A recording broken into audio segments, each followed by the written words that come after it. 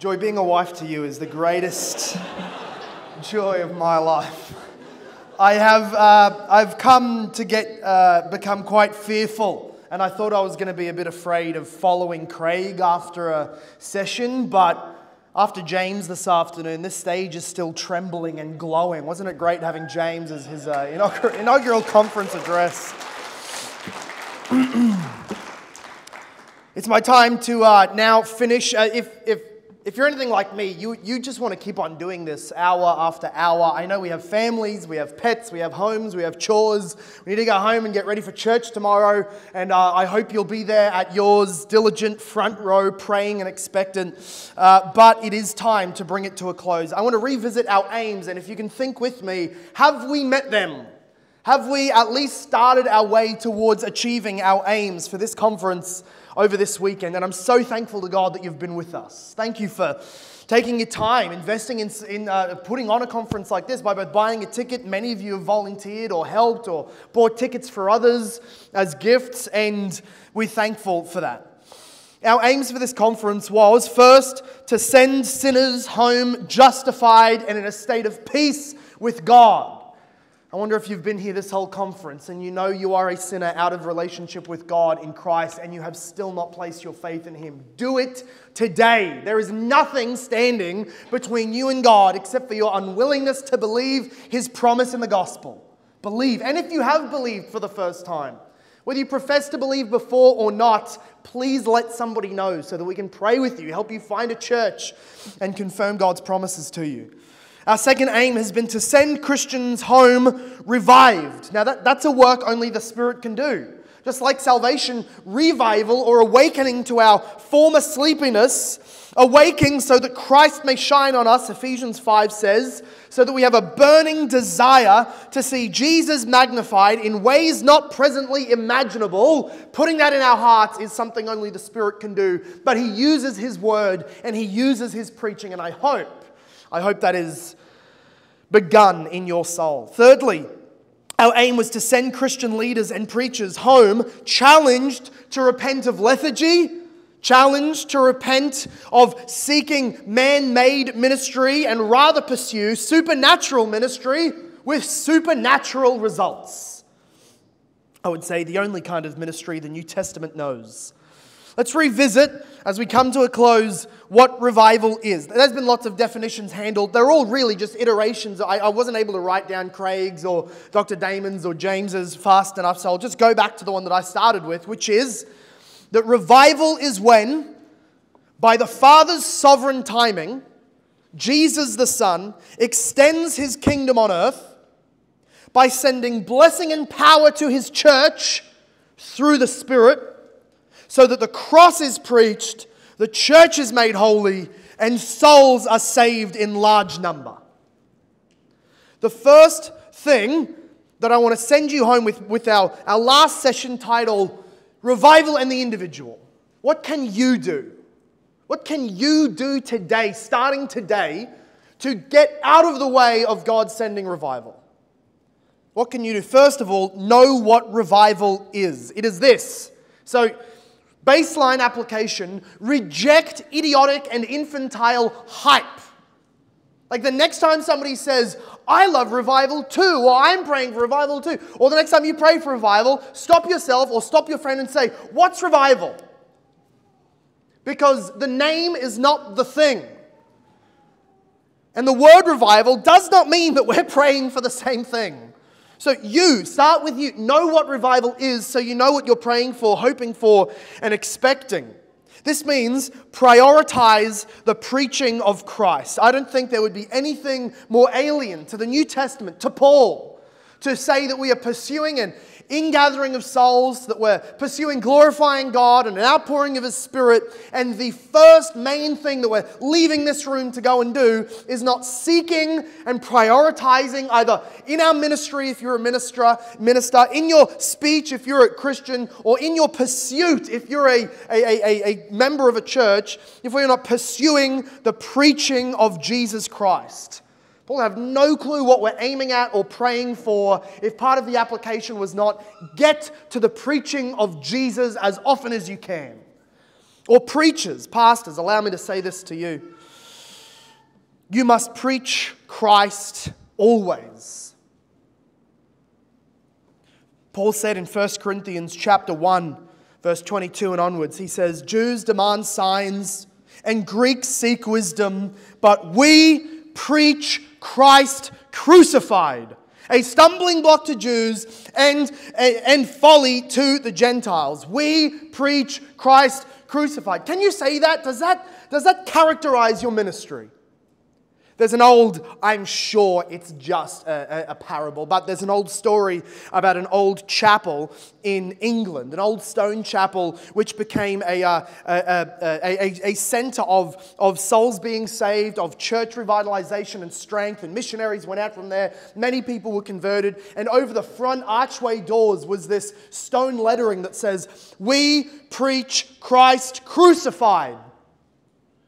And then next to the building, there was this beautiful garden and a vine. And over some years, the vine grew over the church and it covered the word crucified. And it says, We preach Christ. And that church did preach Christ. It preached all about Jesus as a great example of humanitarianism and as a great leader of humanity and, and moral ethics and servitude to the human race. They preached Jesus as an example, not as a substitute on the cross. And then the vine grew a little bit more and it said, We preach. Not just Christ anymore, because Gandhi had some amazing things to say. And, and Muhammad had, had some insight into the human need and, and how to love through the blade. I don't know. That, we don't just preach Christ anymore. And eventually, the entire sign was covered and the dwindling church was closed. We preach Christ crucified must be the anthem of every person who pretends or declares to be a preacher. This is what Spurgeon said. The motto of all true servants of God must be We preach Christ and Him crucified. A sermon without Christ in it is like a loaf of bread without any flour in it. All the celiacs get really offended at that. Back in his day, gluten free wasn't a. This is, it's an analogy. He says, No Christ in your sermon, sir? Then go home and never preach again until you have something worth preaching. If you have a sermon prepared for tomorrow, pastors, if you're in this room, and it doesn't have an explicit declaration of the good news of God's love in Christ on the cross through his bloodletting atonement and a call to repentance for sinners who are still at enmity with God. Repent, edit it, preach a whole sermon on that. Your church probably needs it. Spurgeon said, Leave Christ out of a sermon? Oh, my brothers, you better leave the pulpit out altogether. If a man can preach even one sermon without mentioning Christ's name in it, it ought to be his last. Certainly the last that any Christian ought to go hear him preach. So, pastors, let every single sermon that you deliver give explicit gospel articulation and the calling of people to have faith in Jesus Christ. What in the world else would you rather preach about? Christians Go to a church that preaches Christ crucified. This is not a question of, of, of niche or of style. I was to- told by a, uh, a, a, a, leader in, a, in Christian ministry a while ago. He says, There's something I like about you. It's unique, it's sort of your personality trait, but you often talk about the, salva- uh, about the cross. That's neat. Like it's hard to say thanks to that. That's a, that's a low, low bar. Like you know I'm a pastor, right? In fact, you're probably complimenting me on that or encourage it on the wrong basis. You're thinking that that's a cool thing for me to do. Right? You're about the spirit, or, or you're about the fruit, or, or you're about something else, like leadership techniques. But, but I'm about the cross. I, I don't think there's categories to think that way at all. Therefore, I've told people before you need to be at a church that preaches the cross. One, uh, not one, many, but some. Uh, recently, somebody told me, "Well, I'm at a church, and they they don't really preach the gospel of grace. I says, What do you mean? Well, technically, he's not a big believer in justification by faith alone in Christ alone, right? And this guy was sort of understanding the five solas. He goes, Now, I know my church doesn't necessarily hold to that, and I want to come to your church. What is your wisdom? How long should I take? And says, Brother, you need to move churches now because that gathering you're going to isn't a church. Well, well, wouldn't I be? Uh, wouldn't that be improper to just quickly leave? Like, is it necessarily a sin to try and stay and reform? It says yes, because you're neglecting the gathering of the saints. You're not going to a lesser church if your pastor preaches against the gospel of grace. You're in a synagogue of Satan. You haven't been going to church for 10 years. You're in sin. Leave quickly if your church doesn't really believe in that old, old stuff about Jesus on a cross and exclusive salvation and you need faith and eternal hell and blah, blah, blah. Leave. You're not at church. Or maybe you're at a church that is gospel agnostic, right? It's gospel agnostic. You're not really sure, like, you haven't heard the gospel. I think a couple of Easters ago, they did say, they, they, yeah, there was a cross themed um, a sermon back then. That was really nice. That was, that was cute. I'm not sure whether they do or don't believe in the atonement or justification. We, that's not the sort of thing we teach about. Leave that gathering immediately. I'm sick of being in church ministry and trying to pontificate and layer all of my exhortation towards Christians with so much nuance that I end up having blood on my hands. Leave that church immediately. Somebody said to me recently, Don't I owe my pastor an explanation? I said, You owe Jesus an explanation. Tolerating a gathering without the proclamation of Jesus? Now, some of you, maybe, maybe anybody who's thinking, oh, is that my church? Maybe you fall into this third category, which is that the preaching of the gospel is there. The, the pastor says it, but it, it, it lacks much power. Like he mentions it. And it's a suggestion, and maybe today you would even consider how maybe Jesus could be right for you. And, and, and if you're interested, and I don't want to force anything on you, but, but if the eternal God man dying in flesh for your sins is, is something that is, yeah, like if eternity in hell um, me, me, is, is worth, um, we, God bless you. We'd love to talk to you about it maybe afterwards, no pressure. Um, God bless you. So maybe, maybe the gospel's there. Like he even mentions justification, but you're just sitting here thinking, I wish it was revival type preaching. I wish it was more powerful. Then your obligation starting this afternoon is to take up the ministry of prayer and encouragement for your pastor and be the fire beneath them. Pray that God would revive them, stoke them. The gospel is there, it needs the power. Pray and encourage your pastor towards that end. Prioritize the preaching of the gospel. Know revival. Also, know your history. Know your this is what can you do to get out of the way of hindering revival and, and prayerfully expect it in a right frame and right posture. Know your history. And I'm so thankful for Dr. Damon sessions and, and something he said in there. Know your history as a spiritual discipline. Because history, like providence, is our diary, he said.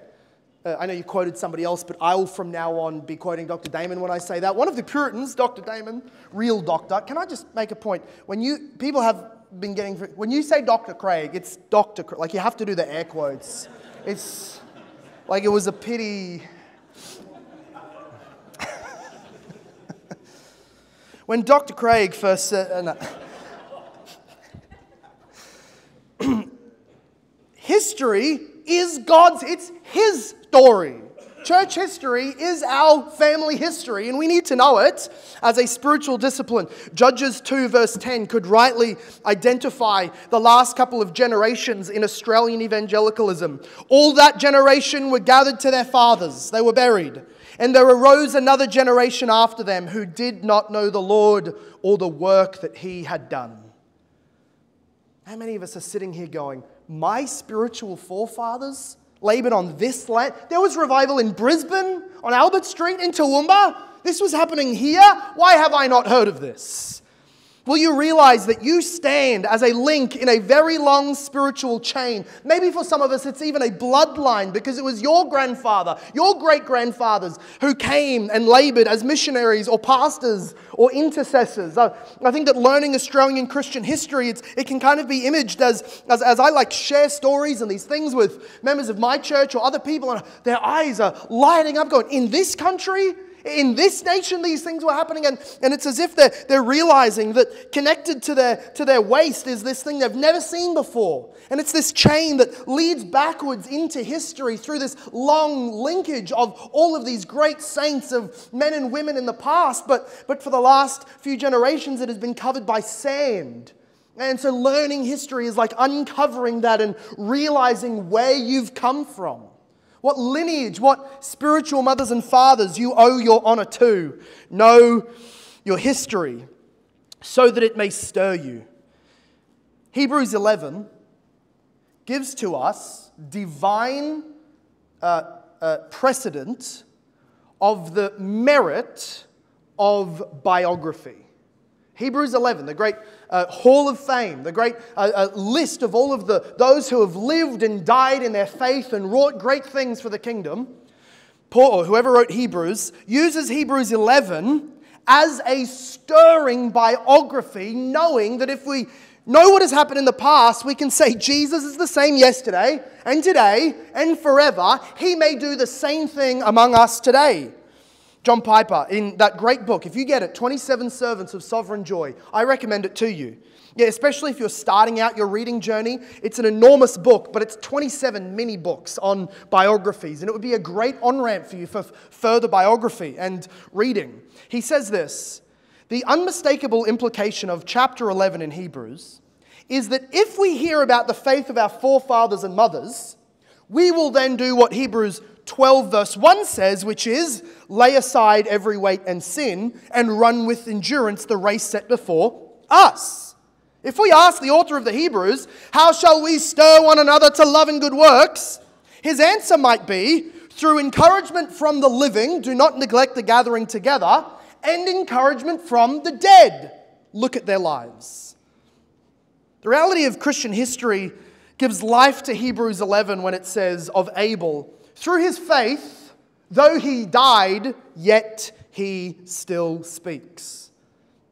I could use like one historical example of, of God uses biography to stir us so that we, knowing our history, we can know our God better and then labor likewise. There's one man by the name of David Brainerd. He died. If you, if you know him, that name brings to your heart a gravity and, and a love of God's mission. He, he was a young man in America. He died at the ripe old age of 29 of tuberculosis after about only four years of mission work. And he died in the house of Jonathan Edwards. It says this uh, John Piper says in that book that I've recommended to you David Brainerd would probably not be known by anyone today if it were not for Jonathan Edwards. He was lined up to go through one of the most prestigious uh, seminaries and then get the most prestigious job offer for ministers back in their day in the Hamptons of New York. Uh, and he got kicked out of his seminary training because he basically cussed out a professor in his youthful zeal, saying that he didn't think his professor was saved. He had no more grace than a chair, is what he said. And which is a great line. But in the 1700s, that's like you're almost breaking the law with how, how crass that kind of language is. So he was kicked out, and instead of being well known and well documented, he was known by nearly no one and became a missionary to the largely untapped swaths of souls known as the Indians, the indigenous Americans. But Jonathan Edwards undertook to edit and publish David Brainerd's private journal of his mission endeavors. As an act of devotion to Brainerd and to the great cause of world evangelization that his life stood for. The reverberations for the sake of world missions in the following 250 years have been incalculable. This book has never been out of print. On his dying bed, Edwards it, it convinces, straining this dying man to agree to let Edwards publish his private journals of all of his endeavors with the Indians. And finally, he allowed him to do it. Almost immediately published, after it was published, it challenged the spirit of God's great adventurers. Gideon Hawley, one of Edwards' missionary proteges, carried it in his saddlebag as the only other book besides his Bible, as, as he traveled among the Indians. The rise of modern Protestant missionary movement took good inspiration from Edwards and Brainerd. For example, in the 1800s in India, William Carey drew up a covenant for his missionary band that included the words, We will always look to Brainerd. The, the list of missionaries who testified to the inspiration of Jonathan Edwards' influence through the labor of love that he expended in writing this book of, of David Brainerd is longer than any of us knows. The list of people who, who, who attribute that book as to why they were in ministry is longer than we know. Francis Asbury, Thomas Coke, William Carey, Henry Martyn, Robert Morrison, Samuel Mills, Frederick Schwartz, Robert McCheyne, David Livingstone, Andrew Murray, and more attribute that book to either why they entered the ministry or the mission field or what kept them going at their moments of failure. Could it be, maybe at this conference, God stirs in you a love of history, a love of reading history? So that you seek to learn more and know God's work in our land. So that this might create in you a devotion to God's cause. Maybe you enter the ministry because of this. Maybe you go on missions because of this. Or you become useful in the coming revival that God will send. Know your history and be shaped by its study. Also, if we need to know what revival really is, we need to prioritize preaching of Christ. We need to know your history. Also, let us say, as it's been said so often this weekend already, know how to pray. Know how to pray.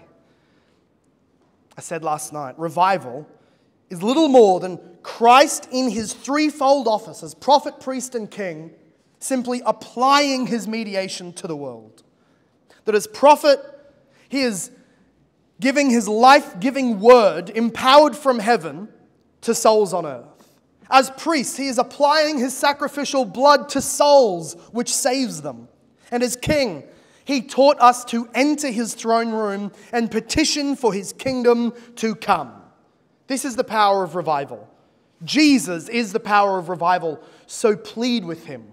Matthew Henry said, it's quoted earlier from Chris, when God sets when God intends to give a blessing to his people, the first thing he does in them is to set them a praying. It's not as if we pray, then God does something. God leads us to prayer, and after a season of prayer, then he gives us his blessings. Maybe, and this would be the injunction, you and your whole church should prioritize prayer, but that's a mammoth task to go and just change your church. Maybe you can't start with your whole church. Maybe you just need to find some friends like John Watsford, who became a revivalist in Australia, the first homegrown Australian born Methodist missionary it, before he was being used for mighty works in later years. In 1840s, he was uh, uh, uh, just him and a couple of friends not long after being saved. There was just two of them, just a small group who decided to pray on certain afternoons and Saturdays. And then in the lead off from that, off of the ramp of that, there was a great outpouring at his, uh, at his local prayer meeting meeting and worship service which brought forth the salvation of hundreds. Maybe you can just find a, fruit, a few at your church. Doesn't need to be pastor sanctioned, doesn't need to be uh, official. Just gather with some friends to pray weekly. Maybe not a group. Maybe you can only gather one other person. And in that, you might be like Peggy and Christine Smith, the elderly 80 year old women, one of them blind, in the New Hebrides of Scotland who set themselves to praying frequently, nightly. 10 till 3 a.m., I think, was their timing of prayers. And eventually, the elders of the church got wind of it and caught some revival desire. And then, shortly after, God sent Duncan Campbell to their church, and revival struck them, and thousands were swept into the kingdom. Maybe you can only find one other. Or maybe you can't find anybody else in your church to pray. And in this, you might be like Abraham, who wrestles with God, saying, If for the sake of ten righteous, won't you spare Sodom? Maybe you pray to God alone, and He will hear and He will heal. Here's some features of ineffective prayer. I'm just going to go through them rather quickly. Features of ineffective prayer. I've been praying. Why has nothing happened? Well, first of all, pride. Isaiah 57, verse 15 says, Thus says the Holy One, who is high and lifted up, who inhabits eternity, whose name is holy. He says, I dwell in the high and holy place. And also with him who is of a contrite and lowly spirit. God dwells in the highest of places and the lowest of places, and nowhere in between. He is in the high and uplifted heaven, and he is with the broken heart. He says, to revive the spirit of the lowly and to revive the heart of the contrite. The humble and the contrite will receive God's blessing in prayer. Formality. Jesus says in Matthew verse 6 and 7 when you pray, do not heap up empty phrases like the Gentiles do. If you've gone through Nepal or to India or you've gone down to a local Buddhist temple uh, that we might have here in Australia, regrettably, and you hear them praying, now maybe it's another language and that's a part of it, but it's just the repetition of single phrases, hoping that one of them spurts off in a tangent and finds its way to the heavenly realm where the gods are. And if you're lucky, they might listen long enough to possibly send send you a blessing. We don't heap up our phrases in hope that by the grand uh, uh, Tower of Babel that we make with our words that God will bless it. We pray with few words sometimes, knowing that God is our Father. That's why He prays. Some of us are praying with so many words, so many long uh, uh, theological words and concepts, and we're sort of just preaching and eloquently lecturing in our prayers so that other people listen and that's just as empty phrases piled up as Gentiles or pagans. Don't pray with formality. Don't pray unpurposefully, that is, without a particular goal or aim in mind. Pray purposefully, specifically. Read Paul's uh, letters to the New Testament church and how specific he got with prayer requests. Please pray that a door would be open to me to speak the gospel so that people get saved. Specific things. Pray for specific things. Lord, please help conversions to happen this weekend at our church. Please help our pastor to be upheld in his preaching. Please help uh, uh, these people in our church to have these needs met. Pray specifically. To pray unspecifically is really just to veil the next sin, which is praying unexpectantly. You know, prayers are very general, generic, and vague. Lord, if you would just bless and give and just be, be a blessing to your people, oh God. Amen. We're not expecting any answer to that because we will have no clue what that looks like if it's answered. When we pray specifically, we are praying expectantly. And James tells us that when you ask, ask in faith with no doubting. For the one who doubts is like a wave of the sea that is driven and tossed by the wind. That person must not suppose that he will receive anything from the Lord.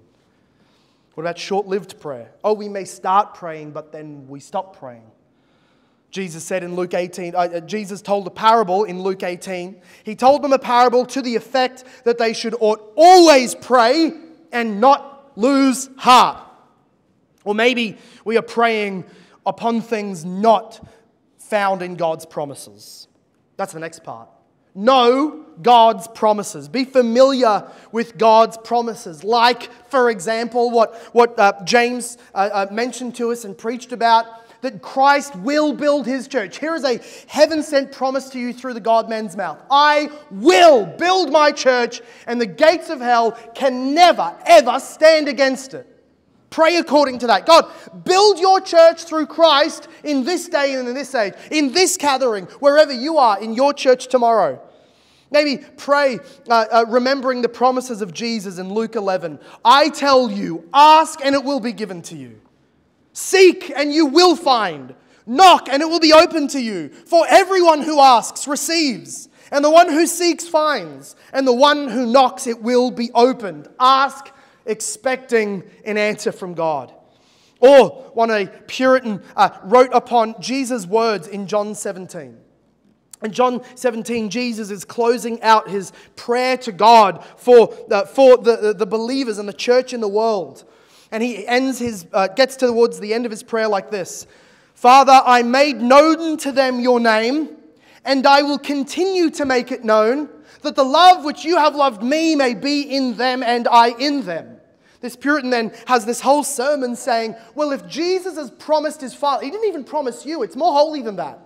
Jesus promised his Holy Father that he would reveal his name again to people in the world. So, so take your suburb, take your nation, take your state, take your church, and go to the throne room as if you have a divine warrant and say to Jesus, You said you would make your name known, and you have not yet in my suburb. And you have not yet to these families. Would you, Lord Jesus, make your name known here, anywhere you go on earth? There is a nation, and all nations have within them those that God will save. You can say, Jesus, you said you would make your name known again. Please do it here. Pray according to promises.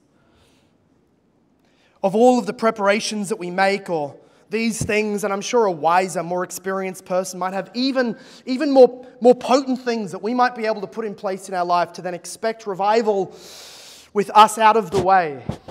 Let me at least say this repent. Repent.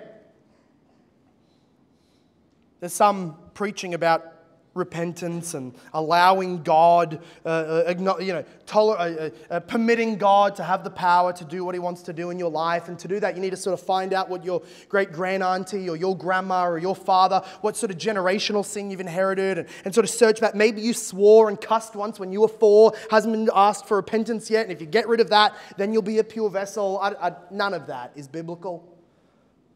But also, all of that is so irrelevant compared to our known sin.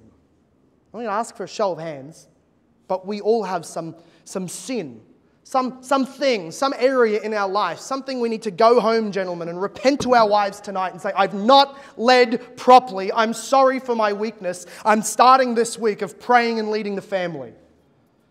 Wives might need to say to their husbands, I've been disrespectful. I've not been uh, godly. Please forgive me. Pastors need to say to their, uh, their, their, congregations tomorrow, I'm sorry for not preaching Christ enough. Here's a new dose. What we look at online, what we tolerate in our entertainment, what we permit in our speech. What thing are you doing? I've been a pastor long enough to know that people are always more unholy than you hope. And it's always unguessable the things they're doing. Like if I stood here, um, maybe 200 people, and I just made a list of 200 types of sins that there might be going on, it'd be weirder. It'd be darker. It'd be stranger. Like Paul the Apostle is a pastor in Ephesus for, for going on a year, and then he finds out there's a, that a whole half of his congregation or thereabouts was still doing black magic. Are you kidding me? Whatever it is. I, I don't know, but God knows. And you know what? You know. Like repent, and you say, oh, what of? No, th- that thing. The thing that makes you go, what else should I? That, that, that thing in your life, that toleration, that sin. Get it out. For our cowardice and fear of man, for our neglect of God's means and our being at, uh, not being at church, for, for our prayerlessness, let us repent and clarify and purify the altar of our hearts so that God can send the fire. Maybe even before all of those things, we should say again, be ye reconciled to God. That's all. That's KJV English. Get real basic. You be reconciled now to God. Maybe this is where revival starts with the salvation of John Watsford in the 1840s, which led to revivals in the decades to follow. Maybe, maybe you're the one that God will use for revival next, but, but you don't give your life to Jesus for that sake. You give your life to Jesus, you believe and trust on the merits of his blood shed at Calvary, so because God commands you to. He has shed forth his love, holds out his son. Be saved today. Don't, don't face God as judge when you can face him as savior. Come to Jesus and be saved. In all these things, let me recap. It's so hard to put all of these things into, into a single address on what feels to me at least a very short weekend. But let us say again know what revival is. Pursue and prioritize the preaching of Christ. Know your church history. Know how to pray. Know the promises of God. Repent of known sin and be saved if you are not yet. I want to close this conference, at least before we sing to the Lord Jesus Christ in worship. I want to close the speaking uh, uh, portion giving Spurgeon, the Prince of Preachers, the last word. And he was preaching this on the text of Jesus declaring, I am the light of the world. And he, uh, uh, he was preaching it really to the, uh, uh, against the consideration of many who would be pessimistic in their view of history as it regards the success of the Great Commission. There were some people who would say, so negative will be the end of world history, that the Great Commission will in fact fall and fail. Now, some was mentioned of eschatology earlier, and I would say that Spurgeon's no postmillennialist. He's a historic premillennialist. If you know what it means, then that's interesting. If you don't, doesn't matter. But here's what he said. And to this, I heartily agree, and I hope you do too. He says this I cannot believe that this dispensation will be wound up as a tremendous failure, that the gospel zealously preached everywhere shall result in only a few being saved, and that the whole economy shall go out in darkness as the snuff of a candle is extinguished. No, I look for better things. Those who dwell in the wilderness shall bow before him. At this point, he's just piling up Old Testament prophecies. And his enemies shall lick the dust. The islands shall bring him tribute. Sheba and Seba shall offer gifts. Yes, all kings shall fall down before Christ. I cannot help but believing that the gospel is yet to be triumphant. I look for the coming of Christ, yes. Let him come when he may. Our hearts will leap for joy to greet him. But for this age to end without success would seem to me like the thwarting of the purposes of God. That is not his way in the world. He has entered into battle with Satan deliberately, choosing poor, feeble instruments like ourselves to confound the forces confronted against him.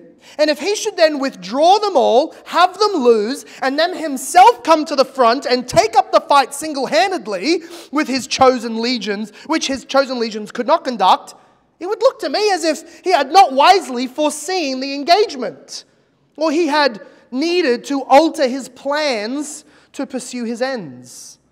No, the Spirit inspires feebleness with irresistible force upon his church.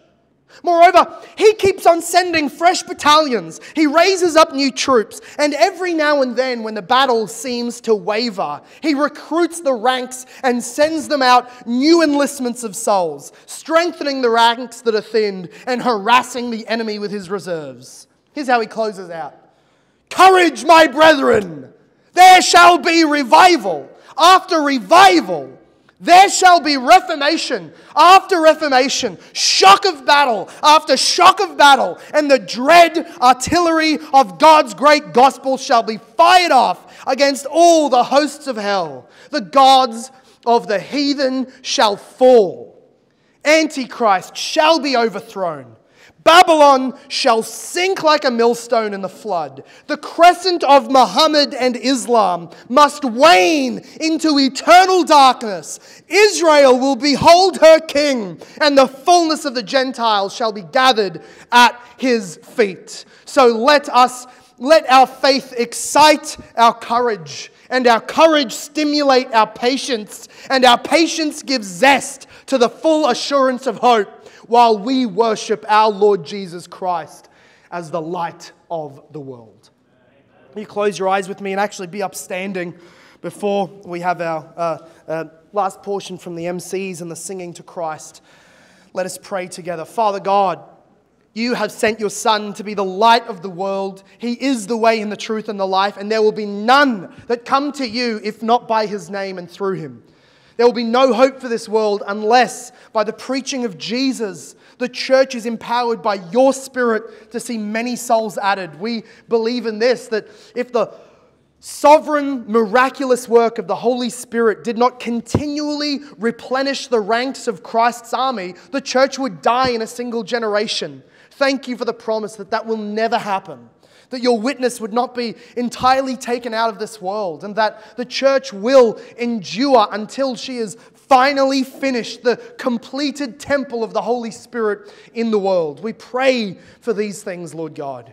We ask that you would move us out of the way, that you would let us decrease so that Christ may increase that his gospel shall be proclaimed, all cannons blazing throughout our nation, so that Christ is seen, heard, believed upon in the world as he is taken up in glory. Father God, we pray all of these things through his marvelous, triumphant name and through the promises of his gospel. And everybody said, Amen. Amen.